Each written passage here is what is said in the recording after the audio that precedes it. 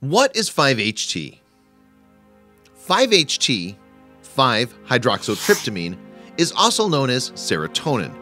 It's a neurotransmitter synthesized in the body from the amino acid tryptophan, which is then converted to 5-HTP or 5-hydroxy-L-tryptophan. Serotonin is mostly found in the gut, platelets, and central nervous system.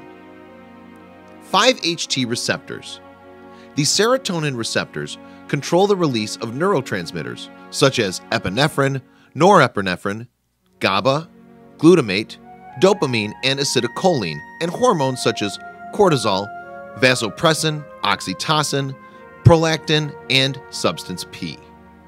Effects Serotonin is released in response to food. This causes the contraction of the intestinal muscles.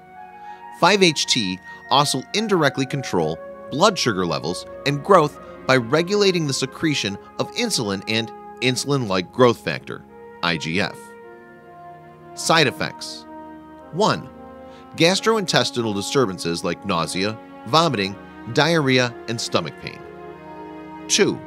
Neurological side effects like headache, lethargy, fatigue, insomnia, and restlessness. 3. Reduced sex drive, difficulty reaching orgasm, and difficulty getting and maintaining an erection. 4. Serotonin syndrome is an adverse drug reaction resulting from the hyperactivity of serotonin receptors in the nervous system. Symptoms range from sweating to seizures.